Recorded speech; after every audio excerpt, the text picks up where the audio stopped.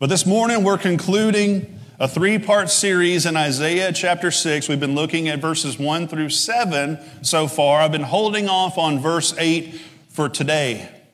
Now, you can read ahead and know what verse 8 says, but there, there's, there's like a climactic moment that I want to get to in verse 8, and I've been saving it, pushing it off until the very last sermon of this series. But we've been looking at the holiness of God, that He is holy, holy, holy. That there's emphasis that is placed on the holiness of God, and we find that emphasis as it is extremely important as a revelation to ourselves as well. This morning, we're going to find that Isaiah has a very interesting response to the holiness of God, and it's the same response that we must have every single day.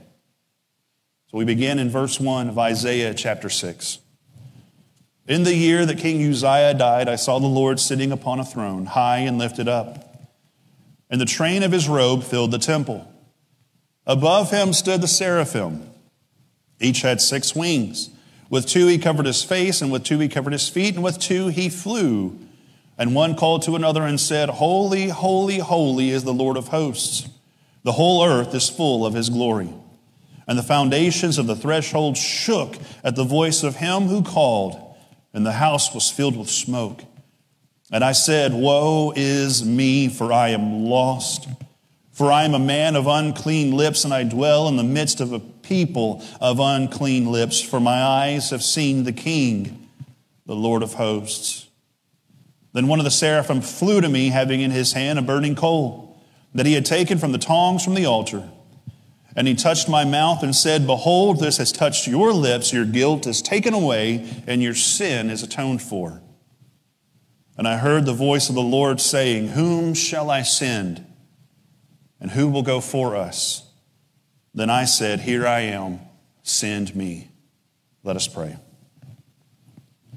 Heavenly Father, may we once again come to you with thanksgiving in our hearts. May we come to you grateful that in this moment we have your word in our midst.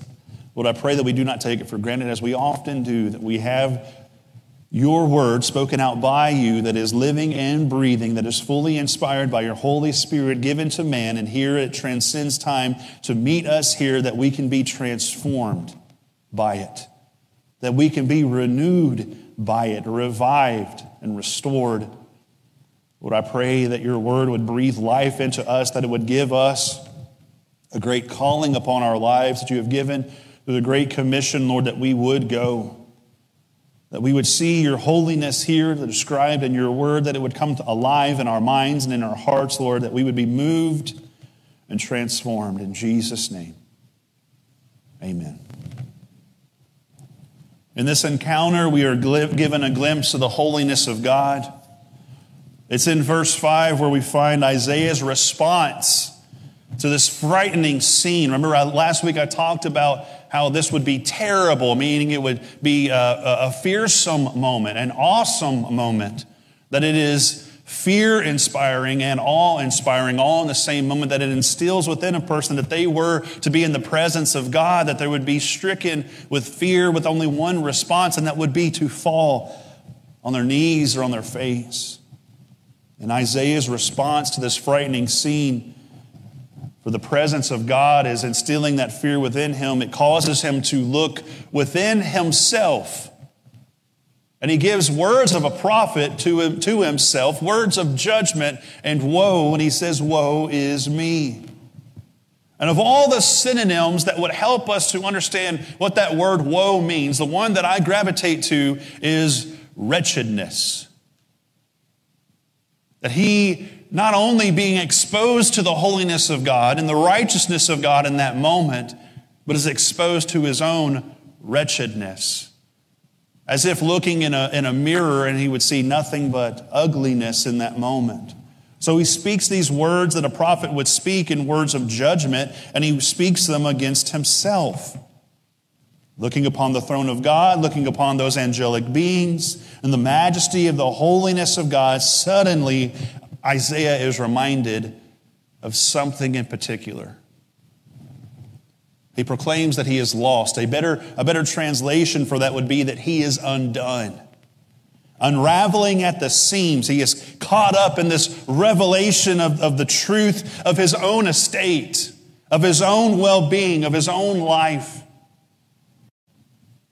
and to those to which he belongs, that nation that he belongs to, as he looks out in this realization not only of his own wretchedness and his own uncleanliness, but the uncleanliness of those that he is a part of. He proclaims here that his lips are unclean, his lips. And also the lips of the nation of Israel is who he's speaking of. This hard hitting truth is revealed because his eyes, as it says in verse 5, his eyes have seen the king. Now remember, we're not talking about Uzziah. He's dead. Now, see, God is looking upon the throne of the eternal king the sovereign one, Adonai, the Lord God. And his eyes have seen the king, and then he utters this, these words here that he is a man of unclean lips. Why the lips? Why is that where he turns to, of all the other body parts that he could have considered unclean, he speaks of his lips and the lips of a nation that he dwells amongst that are unclean. I mean, we've got this here as, as a clear revelation of human wretchedness. So, the first thought that comes to my mind is the fact, ever present fact of sin. So, could it be that Isaiah has spoken sin? And that's, that's what comes to mind. Like coming forth from the lips, right? Words we, we often need our lips in order to enunciate certain sounds. Have you guys ever played that game? There's a board game that's out where it's, it's got this mouthpiece that goes in your mouth and it causes your mouth to be wide like this. And you're trying to lot what you're trying to say. You can't say what you're trying to say. And everybody's trying to guess what you're trying to say. Well, it's hard not to use your lips when you speak. So when you speak words, you're using your lips in, in certain ways, in certain fashion, to make those sounds possible. The babies do that kind of thing. I'm sure Corbin will do it here in a little while. Using their lips in, in any way that they can to verbalize what they need, what we need. So it's a, it's a, it's a pretty important responsibility that's then given to your lips. So is it possible that he has spoken sin? that the lips are the facilitator in the action of sinning? Was it something that he said that brought about this, this wretchedness? And so then I think of the commandments that are given to us. That I think about the Ten Commandments. When we can go through all thousand of them, but maybe we just go to the ten that's, that, that summarize the majority. But I think about the Ten Commandments. One of the first ones that comes to mind is, Thou shalt not bear false witness against your neighbor which we, we like to translate it even simpler than that, than you shall not lie. But the actual translation is, you shall not bear false witness against your neighbor. And the quickest way of doing that is by using your words, by saying something against your neighbor that is not true. And it's usually done by word of mouth. So that makes me think then, yeah, there are sins that we commit because of our lips. And then I'm like, well, you know, committing adultery, well, that, I don't think we're going to go that far on the, the, you know, within that, that surface level of it. I don't think that's what Isaiah is getting at at all. If we're, if we're going through those Ten Commandments, what is it about his lips? But then I realize when examining it and examining sin, it goes deeper to the heart of the problem, and that is the heart. Because when I think about something like, thou shalt not murder, and then I go to Matthew and I hear the words of Jesus, and he says that if you have hatred towards your brother, then you are judged equally as a murderer. That you have murdered your brother in your heart. And that doesn't have to be something that's verbalized. There can be hatred in, in someone's heart towards their brother and not even say anything about it.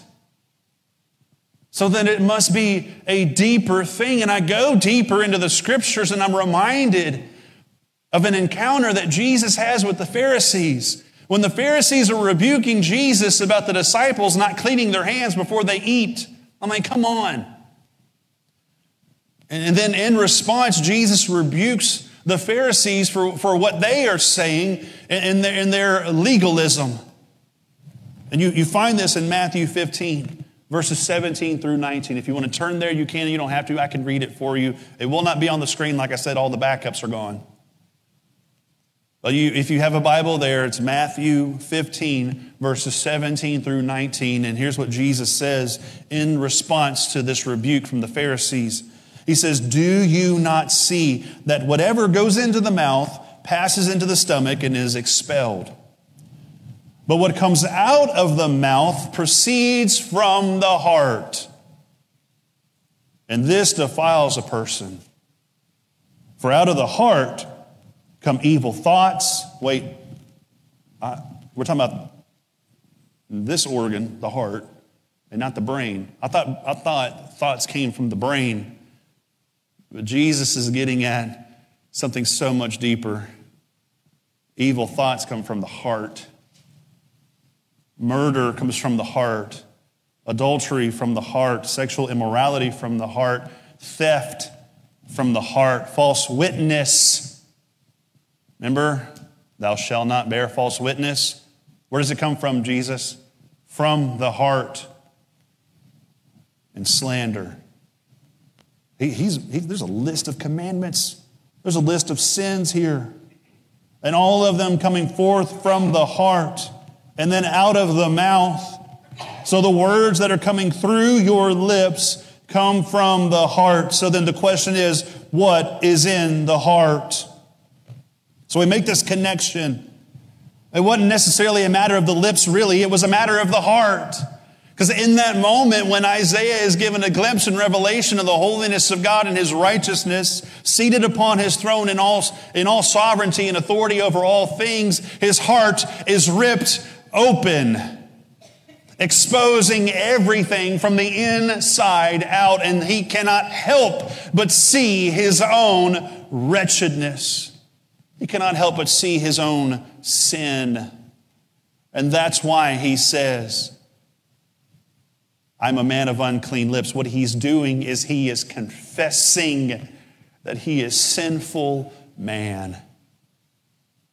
And that the nation that he is associated with, that he comes from, is filled with sinful men and women. He is saying in this moment, I am a wretched sinner. But God does not leave Isaiah to wallow in this revelation of his own pity. He does not leave him there to wallow. But you turn and you look at verse 6, Isaiah 6, verse 6. And we see a beautiful scene of what happens in this moment of confess, confession, what God does is He intervenes. He steps in. He doesn't leave Isaiah to be alone. There's an angel that moves, the seraphim moves, and one of the seraphim flew to me, having in his hand a burning coal that he had taken with tongs from the altar. So he's seeing a sequence of events of things happening here. And what a frightening sight it would have been because Isaiah is already torn up. I mean, he's unraveling, he's undone. And then one of the angels begins moving and then comes toward him with a burning coal and putting it to his mouth, we find in the next verse. But what's very important here that we note of is that the seraph did not move on its own accord. It wasn't the seraph looking down on Isaiah in pity and thinking, oh, I got to do something about this poor, this poor human being here. No. Because the seraph could not move unless God gave it the command to move. Trees do not sway unless God tells them to sway. Flowers do not grow unless God allows them to grow. And the wind does not blow in any unnecessary direction, but God commands it which way to go. All of creation bows to the will of the Father. And then the angels, being created beings, Bow to the will of the Father. You can read in Psalm, I believe it's Psalm 103. I think it's verse 20 in Psalm 103 that says that even the angels listen and obey the word of God. Now, we don't have it written here that God gave a command for the angel to move. We don't have it at all that the Lord speaks until verse 8. All this time it's been, it's been the angel speaking or Isaiah speaking. But according to Scripture, we would know that the seraph would not move unless God is directing it to move. Taking a burning coal from the altar. And in verse 7, we find what happens next. And he touched my mouth and said, So the angel now is speaking, Behold, this has touched your lips, your guilt is taken away, and your sin atoned for. I'm going to have to call up my ninth grade English teacher who screamed at me more than a thousand times that you do not end a sentence with a preposition. And I'm going to call her up and I'm going to say to her, angels end their sentences with prepositions. That's just a funny grammar joke for you guys. I'm glad you enjoyed it. And the angels touched that burning coal to the lips of Isaiah and proclaimed in that moment that guilt is taken away and that sin is what just happened. That's incredible. That it was something that we would seem, I mean, that would hurt, would it not? I've never kissed coal. I don't plan on kissing burning coals. I don't know. I, w- I would think that it would cause blistering. I don't want blisters on my lips. That would be awful. I wouldn't be able to eat. And obviously, I got to eat. Look how skinny I am. I feel like this would be terrifying even of itself that maybe there's a, a, white hot coal or maybe it's burning red, I don't know, coming toward his mouth. And what can you do? I mean, in this moment, can you, can you, can you, you can't shoo it away. If an angelic being is coming at you like this, you just go with it. And I, I don't, and I bet it didn't feel good. I mean, maybe this was the, the kind of coal that doesn't burn. It says it's a burning coal. Maybe it's like that bush that God was part of, you know, that burning bush that didn't go anywhere. I mean, it didn't burn away, but it was still there on fire.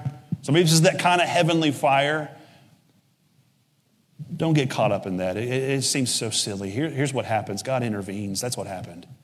God stepped in, God moved in a miraculous way and said, Look, Isaiah, you can't remain in this. Because if Isaiah was going to stay there in the presence of God, he couldn't remain in his wretchedness. Because it, it cannot exist around God. He cannot be in the presence of it. That, that wretchedness that was there, he, God had to do something about it. And I hope you get a hint of where I'm going. I'll, I'll get there in a second.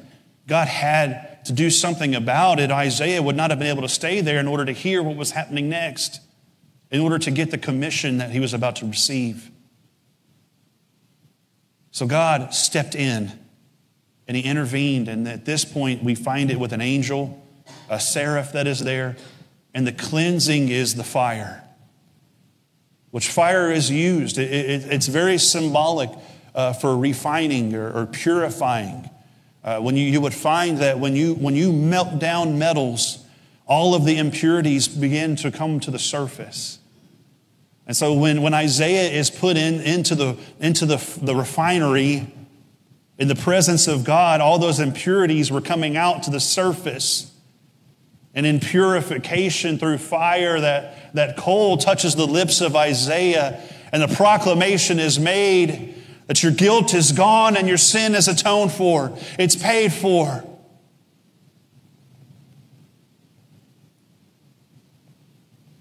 Here's what all this means, not only for Isaiah, but also for us. For us, God intervened. He stepped in. He was not going to leave us in wretchedness.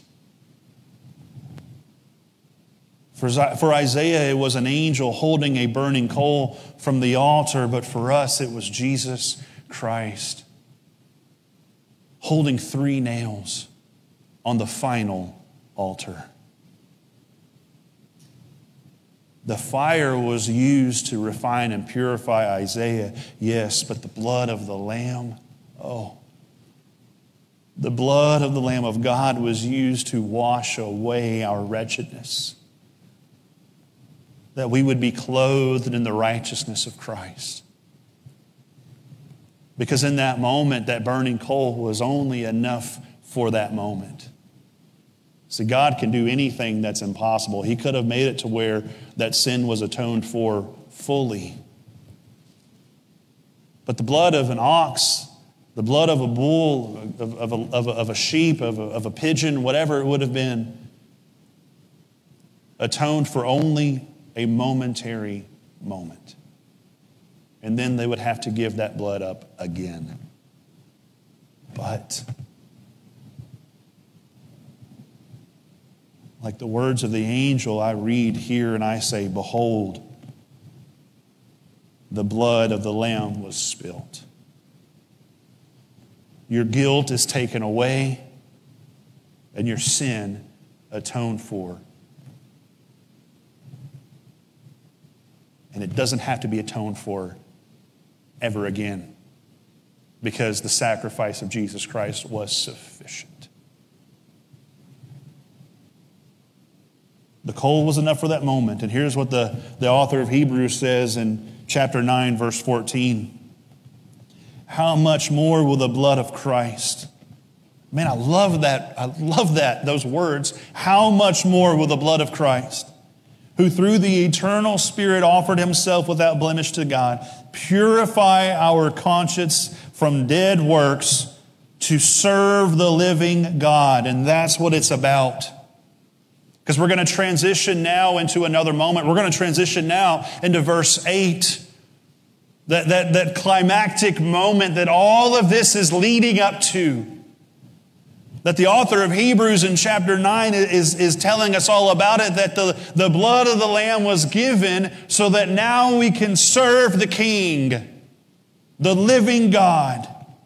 Isaiah served a king for a momentary time. In the year that King Uzziah died, we find that these things happen. The, that the king died. The king died, and earthly kings die. But now we find that God is calling Isaiah to a higher calling in not serving an earthly king, though he would serve under an earthly king. But my eyes have seen the king, Isaiah says in verse 5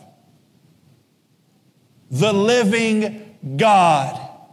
And all of this to lead to this moment in verse 8. And I heard the voice of the Lord. Adonai is now speaking. And here's what Adonai, God, says. Here's what the sovereign one says to Isaiah Whom shall I send? And who will go for us? And Isaiah said, Here I am, send me. Done. That's what it all leads up to. That pivotal moment in Isaiah's life when he receives that calling. But he had to be exposed to his own wretchedness. He had to be exposed to his own sin. This isn't the only time we find something like this happening in Scripture. One of my favorite illustrations, I don't even have to go, I don't have to go outside of Scripture. It's an illustration that is used within Scripture. We go to John chapter 4, and in John chapter 4, Jesus finds himself growing weary. So he stops at Jacob's well on a journey from, from Judea to Galilee, but they must go through Samaria. And Jesus finds himself weary. They stop at, he and the disciples stop at Jacob's well, and he tells the disciples, Go on into the town, find some food. I will stay right here because Jesus was waiting for somebody. Because lo and behold, here comes this woman, a Samaritan woman. This woman comes to the well in the middle of the day with jars to fill up the jars with water. in the middle of the day. This wasn't something you did in the hottest part of the day. This is something that you did in the earliest part of the day when it was cooler. But here she was, and she was alone. Now, this wasn't a job that you did alone, this was a job that you would do with others. Usually, it was the job of the women to go to the well. To get water from the well in the early parts of the day when it was cool, and you don't, you don't do it alone, you do it with a group. You don't want to be alone. Things happen on the road. So you go with a group. But here she was, at the hottest part of the day, she was alone with her jars to gather water. And Jesus asks her for a drink, that she would draw water for him. And she's perplexed, dumbfounded by the fact that he, a Jewish man, is speaking to her, a Samaritan woman. And in the midst of this, when he, he is saying to her, Look, if you knew who I was, you'd be asking me for water. And I would give you living water that quenches the soul. There's throughout this encounter, Jesus says something to her about why don't you go fetch your husband? And she says, I have no husband. And he's like, uh, you're right when you say that because the man you're living with is not your husband. And in that moment, that woman's sin is brought to the surface. But Jesus doesn't leave her in her own pity and sorrow of human wretchedness. Because in that moment, he says to her, Look, there's coming a time you know, when it's not going to matter what mountain you're on to worship God, he, He's looking for those who are going to worship Him in spirit and in truth. And that time is now. And she's like, I know of the Messiah that is to come. I know. I've heard of Him. And right there in that moment, He says, I'm Him. I'm the one you're looking for. So, what did she do in that revelation? She left her jars at the well. She went back to her hometown and looked for anybody who would listen to her. Look, there's this guy. You got to come see this guy who has told me everything that there is to know of me. You've got to come because she had a revelation of the Messiah, the Christ the one who was promised and destined to come to take away the sins of the world. And her sin was exposed in that moment, but she left the world behind. She left her world behind, her cares, her responsibilities. She left the jars at the well. And she went back to tell as many people as she could that Jesus was there. And Isaiah had to do the same thing. That when his wretchedness was exposed and his sin was on the surface, who will go for us, God says. And it was finally then, in that time, and only then, after that, all of that happened, that Isaiah could answer, Here I am. I thought you were undone, Isaiah. Here I am. I thought you were, were falling on your face and on your knees in the wretchedness of sinful man. He says, Here I am. How could it be that Isaiah goes from this state to this state where he is, he is nothing and then he is finally something? It's because God intervened. And now Isaiah can move. And now Isaiah can say, Here I am. Send me.